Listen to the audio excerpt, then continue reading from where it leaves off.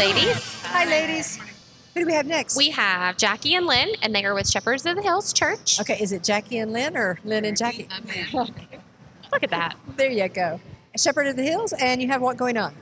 Well, in October, October the 11th, uh, the women of our church, the women's group of our church, are hosting a fundraiser. It's a holiday harvest bazaar. Oh, fun. Uh, we do a lot of fundraisers during the year, and we um, benefit 100% to women in need in Douglasville. We pay utility bills, uh, we purchase appliances, pay mortgage notes, and so this is a big event for us. Uh, we will have our sanctuary filled with a booth of holiday items, uh, home based businesses, uh, and we just ask the community for the support for us. Uh, as I said, we do 100% benefit the women in Douglasville when they're in need.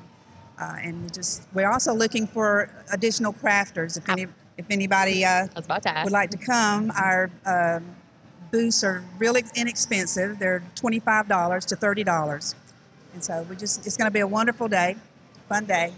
Perfect. And if people have questions about being a vendor or for more information, Okay. what's the best place to check out? I'm going to give a telephone number and a website. Perfect. It's 770 920 1551. That's our church office.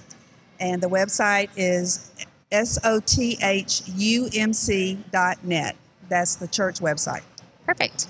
Did she get everything? She did. Good She job. Did. She got everything. You're talking Yeah. next month, right? Uh, You're right. Yeah, it's going to be a great day. And and this is a kickoff fundraiser for us, this type of thing, and we're hoping to make it an annual event. So. That's awesome. Well, thank you for connecting with our community and offering that Yes. That uh, opportunity for everyone out in Douglasville, Douglas County. Thank, thank you. Okay. Thanks, ladies. Thanks, ladies. Y'all have a good day.